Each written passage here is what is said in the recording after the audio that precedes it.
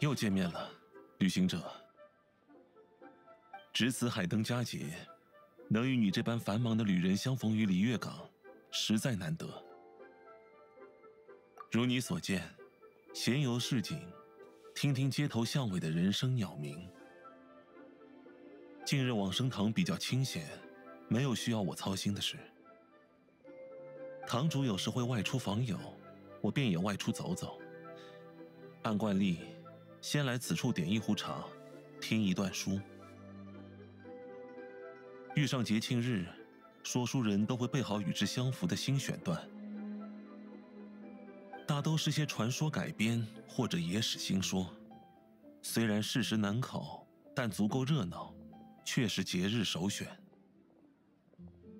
呵呵，看来你也渐渐熟悉这里的说书人了。岁月如梭啊，人会变，传统也会变。海灯节亦是如此。古时候，璃月战乱多发，人们为了让在外远征的战士认清回家的路，会在夜里点起明亮的灯。如今时局安稳，放宵灯这一习俗也渐渐转为了纪念仪式。对璃月人而言，灯火传承。意味着阴魂不灭。这些不被时间撼动的事物，便是璃月的根。旅行者，希望你也能与璃月人一起欢度海灯节。安排二字并不适合我，我是个闲人，行走随心，想去哪里都是可以的。不过你这么一说，确实，也该趁着节日四处走走了。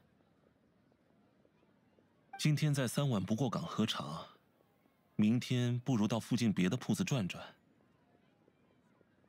以闲人之身见证街市繁荣，也是件乐事啊。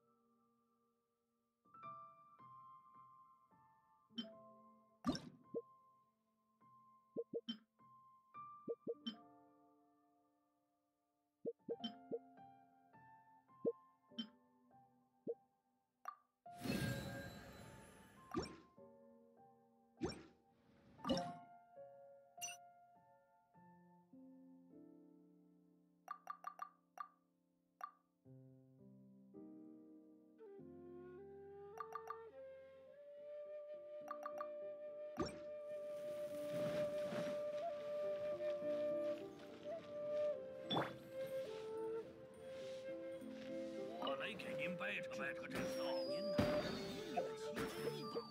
嘿 高兄